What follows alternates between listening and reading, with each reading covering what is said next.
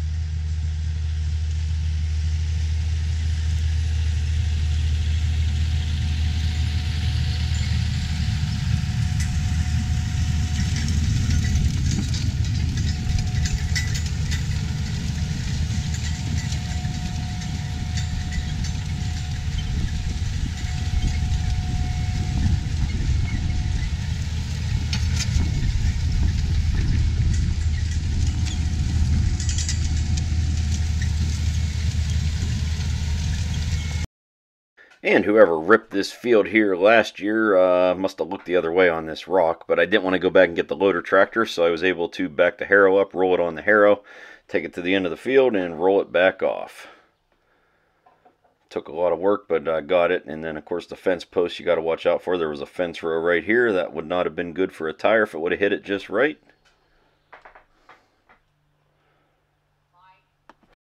Anyhow, just rolling along here, and I uh, just bought a portable XM radio, have that in the tractor here. That seems to be working out pretty good. Uh, GreenStar uh, auto guidance system, really like that. That's pretty user-friendly, seems to work pretty good as well. And out here filming the corn planter again in the evening. I was going to crop out my shadow, but uh, decided not to just to prove that I do film my own videos.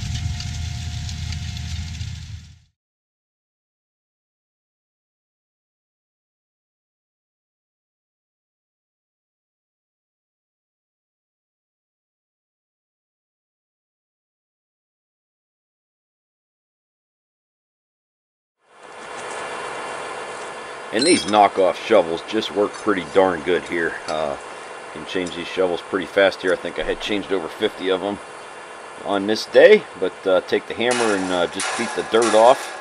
Get the dirt broke out and then uh, put this tool over here that latches on the top of the shovel. Goes in, pushes the spring in, and then you can just pound it right off and slide the new one on. Uh, a lot of times if I don't hear it click on the spring, I just give it a couple taps with the hammer, make sure it's seated because I have uh, had them fall off before too. But uh, anyways, this is a great invention, uh, I think, right here versus uh, changing out bolts in the field that are worn and you end up cutting your fingers and whatnot. So whoever invented this, uh, great job.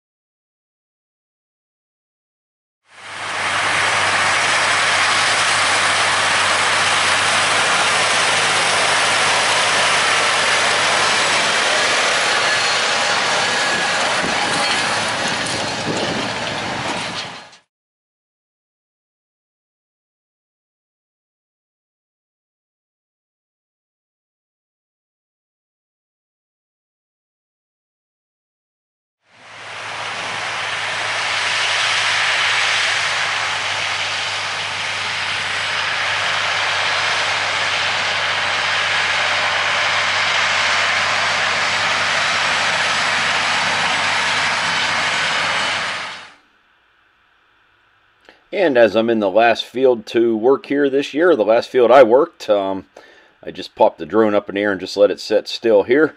Get a couple shots. This field here uh, had wheat in it last year, winter wheat. Was combined off. The field sat idle and uh, had a vertical till run over it uh, last fall. And then, of course, the field cultivator this spring worked up pretty nice. And when I'm working ground, I don't normally skip a pass, but uh, just thought I would for the video. So we're going to speed things up a bit here as I finish up this field or attempt to finish up this field.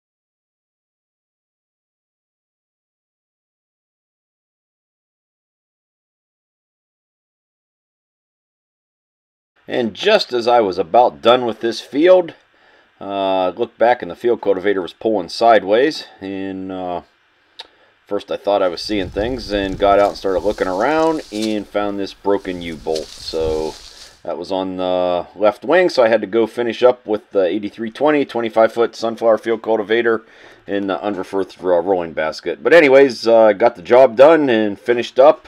It did start raining here. It was raining on the south end of the field and not the north end, but it did not rain heavy enough I was able to finish the field. And then I was also working it at an angle, so uh, the end that did get the rain was already worked before this storm kicked in.